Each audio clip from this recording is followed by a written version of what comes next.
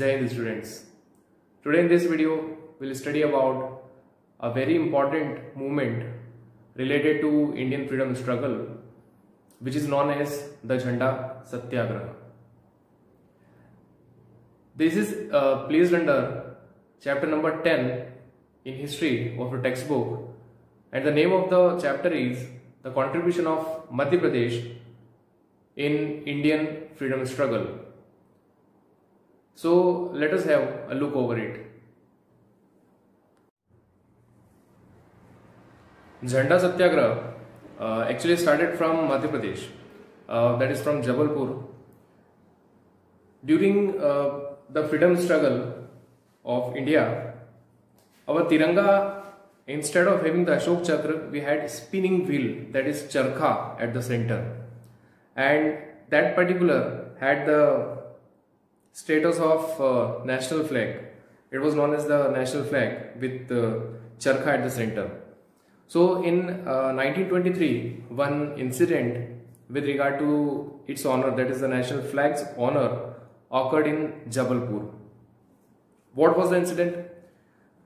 The Congress party, the Congress uh, uh, party committee constituted uh, uh, a committee, it formed a committee and who was the leader? Leader was uh, Hakim Ajmal Khan. And why was it made? It was made because they wanted to assess uh, the, the extent of uh, mental preparedness of the people for non-cooperation movement. Gandhiji started non-cooperation movement, you already know. So, how much, to what extent the people are aware of it, to what extent they are uh, thinking about it, will they be involved in the particular uh, movement or not. So that particular things they had to assess. That's why this committee was formed.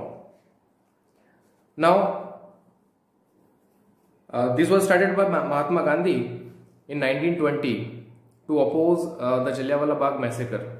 So we'll study about Jallianwala Bagh massacre and uh, non-cooperation movement in the upcoming videos.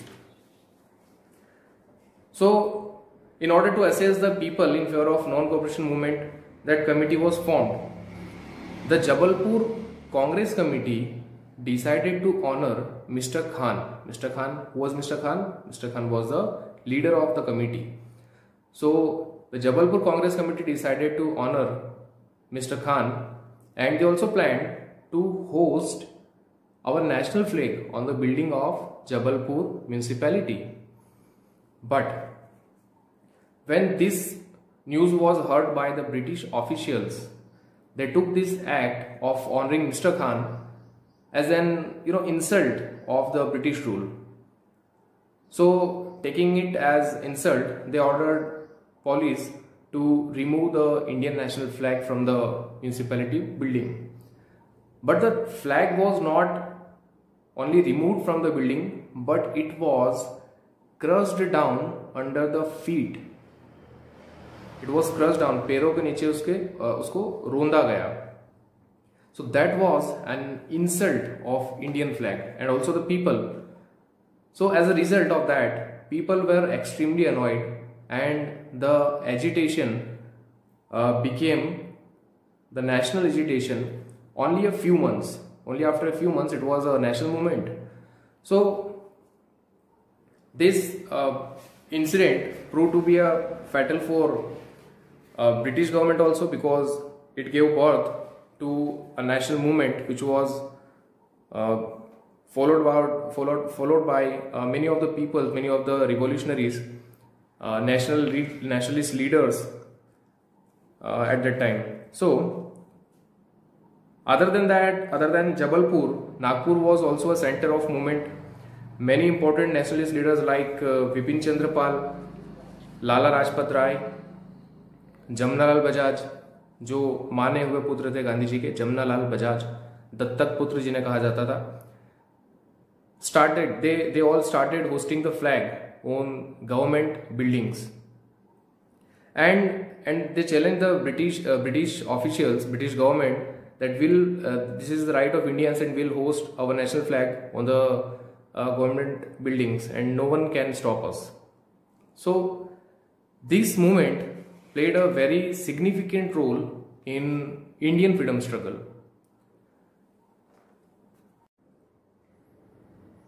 Many more leaders like Jawaharlal Nehru, Sardar Vallabhbhai Patel, Chakravarti Rajgopalachari, Dr. Rajendra Prasad, Acharya Vinoba Bhave, etc. also contributed much in the movement. This movement did not end up uh, till independence of India, that is uh, up to 1947. India uh, actually noticed several events, many events when Indian national flag was hosted by the revolutionaries on the government and private buildings, uh, challenging, challenging the British government. These events, what was the out outcome? The outcome was that these events united the common people of India it gave a sense of uh, awareness to the people that it is a right of every individual, every one of us to host the national the national flag wherever and wherever they wanted.